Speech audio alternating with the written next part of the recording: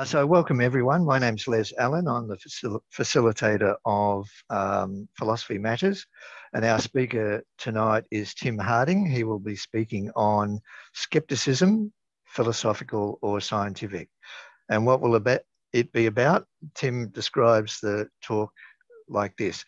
Dictionaries often draw a distinction between the modern common meaning of skepticism and its traditional philosophical meaning, which dates from antiquity. The usual common dictionary definition is as a skeptical attitude, doubt as to the truth of something, end of quote. Whereas the philosophical definition is, quote, the theory that some or all types of knowledge are impossible, end of quote. These definitions are, of course, quite different and reflect the fact that the meanings of, of some philosophical terms have drifted over the millennia. The contemporary meaning of scientific skepticism is different again, which Tim will also discuss. He has a foot in both the scientific and philosophical camps.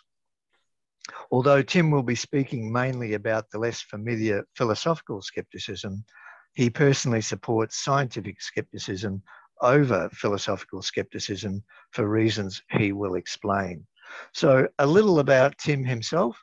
Tim Harding has studied the history and philosophy of science twice at the same institution, Monash University. The first time was as an elective subject in a science degree where he majored in biochemistry and microbiology. The second time was 40 years later, studying for an arts degree where he majored in philosophy and history in the intervening period, he worked as an environmental scientist, regulator, and senior public servant. Later on, he worked as a regulatory consultant to the federal government and various state governments, specialising in agriculture, animal welfare, and public safety. Tim, Tim is currently an administrator of the large Skeptics in Australia Facebook group, and I also learned tonight Tim is a masterful trombone player and he's been playing trombone and other musical instruments for decades. So let me hand over to Tim. Thank you, Tim. Hello, everybody. I'd like to thank Les for uh, inviting me to give this talk. As Les says, I've got a background in both science and philosophy, and this is a rare opportunity to talk about both subjects together. My talk is based on an essay published in the Skeptic magazine of March 2017 under the title, I Think I Am. Now, I'm aware that this audience is different to the skeptics audience. And although some of you may already be familiar with epistemology and uh, philosophical skepticism, others might not be. So I'll assume no prior knowledge of these topics. So what's the skepticism thing that everybody's, some people are going on about? Um, the word skepticism is often misunderstood in the general community, both unwittingly through definitional confusion that I'll talk about, and, but also wittingly through trying to make uh, denialism more publicly acceptable. A possible contributor to the confusion is there are now three different meanings of the term. So what I'd like to talk about today, that's the title of my talk. I'd like to talk about four things. Firstly, why is the difference between scientific and philosophical skepticism important? I'd like to talk about ancient Greek skepticism where the word came from. Modern philosophical skepticism dating from Rene Descartes and scientific skepticism, which I'd like to finish on. So here's a typical dictionary definition. As Les mentioned earlier, there's two meanings often given. Firstly, a, a skeptical attitude, doubt as to the truth of something. And secondly, the philosophical definition that the theory that certain knowledge is impossible. And that the philosophical definition, as Les says, does date from the antiquity, the ancient Greeks. By way of a preview of philosophical skepticism, this quote comes from Professor Miguel de, de Unamuno. I always have trouble with that. He was a famous uh, Spanish writer and philosopher, regarded as a national treasure in Spain. I'll talk a bit more about that later. One of the current uh, areas of confusion, I suppose, that we often encounter in the skeptical movement is the difference between skepticism and denialism. Denialism, I think, is a, is a person's choice to deny certain particular facts. It's basically an irrational belief where the subst person substitutes his own personal opinion for established knowledge. And science denialism is the rejection of basic facts and concepts are disputed, that are undisputed, will support parts of the scientific consensus on a subject in favour of radical and controversial opinions of an unscientific nature. So in science denialism, we're talking about the, uh, for example, the denial of evolution, um, promotion of creation, creationism against evolution, the denial of climate change, vaccination, those sorts of things. And often the denialism feeds into cons conspiracy theories. And the basic format, logical format of these conspiracy fallacies is that a, a, a denialist holds a certain belief. The scientific evidence is inconsistent with their belief. So the way they resolve this inconsistency is to think that scientists are conspiring with the big bad government uh, to fake the evidence and undermine their beliefs. Now, let's talk about the ancient Greek um, philosophy schools, which is where skepticism originally came from. What happened was that the Hellenistic period covers the period of Greek and Mediterranean history between the death of Alexander the Great in 323 BC and the Roman victory over the Greeks at the Battle of Corinth in 146 BC. The beginning of this period also coincides with the death of the great philosopher, logician, and scientist Aristotle, who was actually the tutor of Alexander the Great. Not many people know that. Um, as he had no adult heir, Alexander's empire was divided between the families of three of his generals. And this resulted in political conflicts and civil wars in which the pr prominent philosophers and other intellectuals did not want to take sides in interest of self-preservation. So they retreated from public life into various cloistered schools of philosophy, the main ones being the Stoics, the Epicureans, and the Skeptics.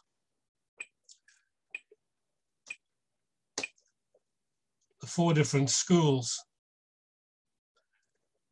These philosophical schools were different theories as to how to achieve eudaimonia, which roughly translates as the highest human good or the full fulfillment of human life. They thought that the key to eudaimonia was to live in accordance with nature, but they had different views as to how to achieve that. Just in a nutshell, the Stoics advocated development of self-control and fortitude as a means of overcoming destructive emotions. The Epicureans regarded the absence of pain or suffering as a source of happiness. And there's a misunderstanding here. Epicureanism was not just about hedonistic pleasure. The Cynics, which means dog-like, rejected conventional desires for wealth, poverty, health, or fame, and lived a simple life free from possessions. Lastly, were the skeptics, which I'll now discuss in more detail. During this uh, Hellenistic period, there were actually two varieties of skepticism. There was academic skepticism and Pyrrhonism. Firstly, academic skepticism. Arcesilaus became the head of the Platonic Academy after Plato. He didn't, didn't doubt the truth of the existence of truth and self, only our capacities for attaining it. he thought that knowledge is impossible. Nothing can be known at all. And I'd just like to clarify, he, he wasn't arguing that there's, there's nothing that we can be certain of. There's that just simply that knowledge was, any form of knowledge was not possible. Later, Carneades refined this and, and thought that ideas or notions are never true, but they're probable. There are degrees of probability, hence degrees of belief, leading to degrees of justification for action. Ac academic skepticism actually died out in the first century CE. It never really caught on for reasons I'll explain next. Pyrrho of Elis is the father of, uh, thought to be the father of philosophical skepticism, or at least the, the form of philosophical skepticism that, that endured, and still endured today, actually. He was born on the west side of the Peloponnese, near where the Olympics were held. He travelled with Alexander Great on his exploration of the East, and he even went as far as the Magi in Persia and the Gym, Gymnosophists in India. So what was he on about? He thought nothing can be known for certain.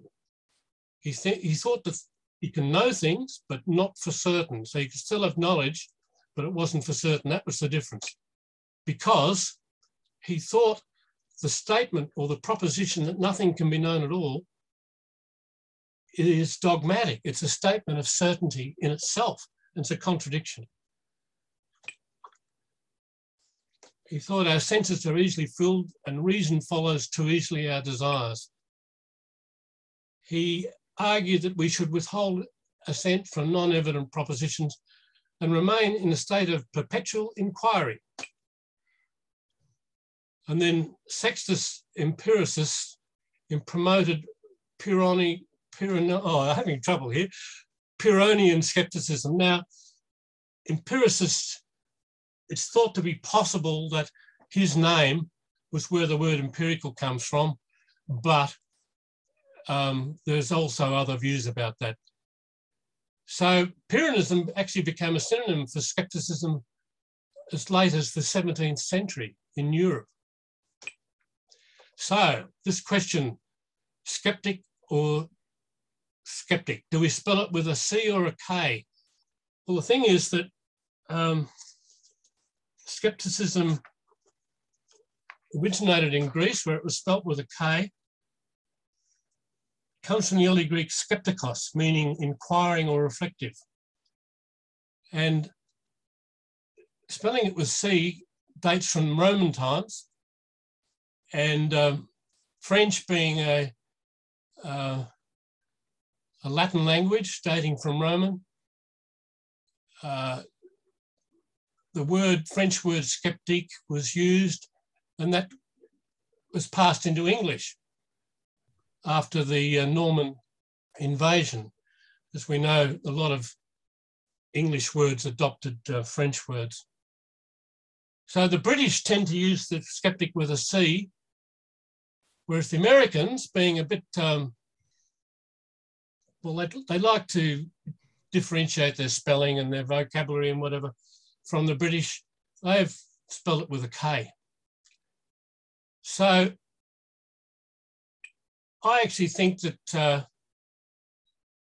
that the Greek origin of skepticism has a better claim to fame than with a K than the Roman one because the Romans were actually not renowned for skepticism at all, or even much philosophy. They were primarily engineers and inventors in their intellectual work, and they're actually the Romans were actually very superstitious uh, and they were into a lot of uh, what we would call, skeptics would call quackery and woo. Just to give a couple of examples, they thought that cabbage, the Romans thought that cabbage had mystical and magical properties. I won't read all that out, but uh, they thought that ca cabbage could cure a lot of illnesses. um, in veterinary treatments, now just focus on the word three here this is uh, basically superstitious belief in the word magical properties of the word free. if you do three of everything, it has some sort of magical property. I'll just give that as a couple of examples. There's a lot of other examples of Roman superstition, but I'm just arguing that I think the Greeks have got a better case for the origins of skepticism than the Romans. That's all I'm saying. Now, knowledge.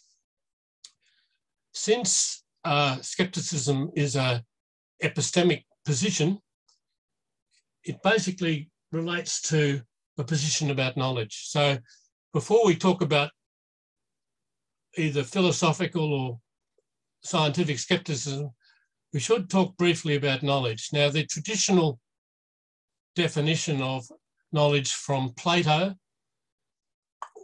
um, which is still widely accepted with some exceptions, like such as Gettier problems that Les mentioned earlier on, that basically uh, knowledge can be defined as something that has three properties.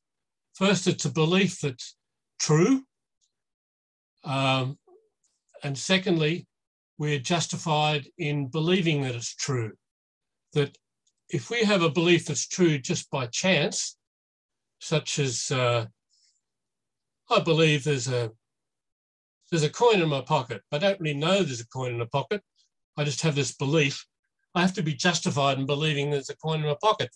Either I put it there or somebody else put it there. A belief that's purely by coincidence or chance wouldn't qualify as knowledge.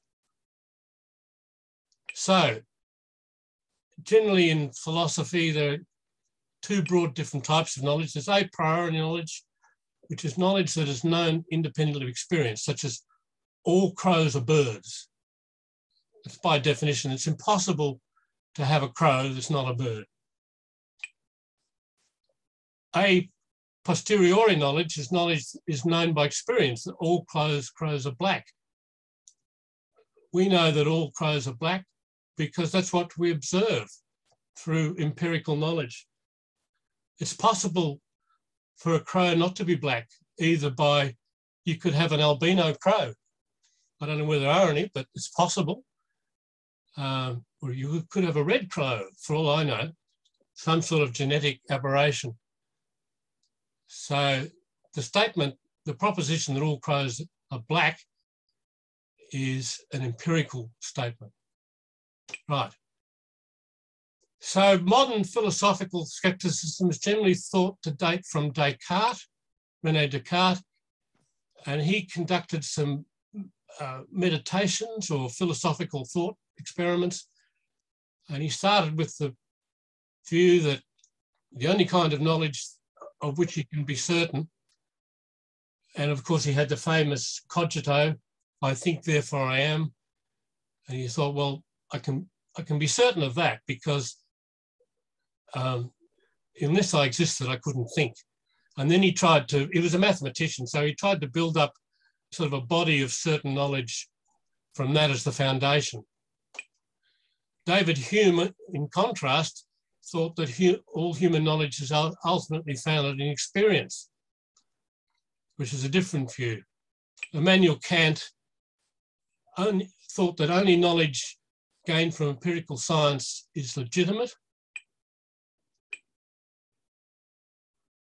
But he did talk about knowledge from reason as well, but he thought, ultimately thought that empirical science is the only source of legitimate knowledge as well. So now we come to scientific skepticism. And this quote comes from Miguel de Unamuno, in 1924 who was professor of philosophy, uh, literature and philosophy in uh, the University of Salamanca in Spain, and there's a statue to him too. Also, I saw a movie recently about him. He was regarded as a bit of a national treasure in Spain, and the the, the movie is called While We're at War, and it's about the, the start of the Spanish Civil War and how he he broke from uh, Franco, who actually knew quite well, and then uh, broke from him. So we have a, since 1924, there's been a, a skeptics movement that has developed.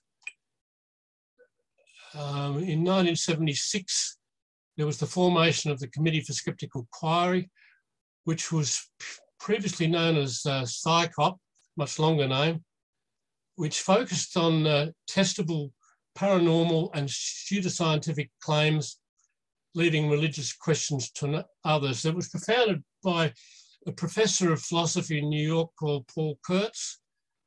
And he actually was inspired by a Belgian group called the uh, Comte, Belgian Comte, which started up after the Second World War because he became a bit outraged that there were these uh, psychics and paranormals who were charging money to try and find missing people who'd been missed in the war and very often they'd been killed in the war.